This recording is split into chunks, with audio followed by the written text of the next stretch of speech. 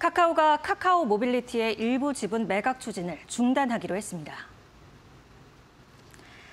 카카오 공동체 alignment 센터는 오늘 카카오 모빌리티의 주주 구성 변경 검토를 중단한다고 밝혔습니다. 앞서 카카오는 자회사인 카카오 모빌리티의 지분 중 일부를 매각해 1대 주주에서 2대 주주로 전환하는 방안을 검토한 바 있습니다.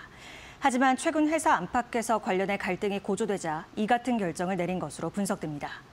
공동체 센터는 협의체가 도출한 방향성을 존중해 결정했다며 앞으로 사회적 책임을 다하며 국민들의 이동 문제를 해소하기 위한 혁신을 함께 만들어 나갈 것이라고 설명했습니다. 이에 카카오 노조 측도 입장문을 통해 카카오 모빌리티 매각 철회 결정을 환영한다며 이는 카카오 공동체 직원의 적극적인 참여로 이끌어낸 성과라고 언급했습니다.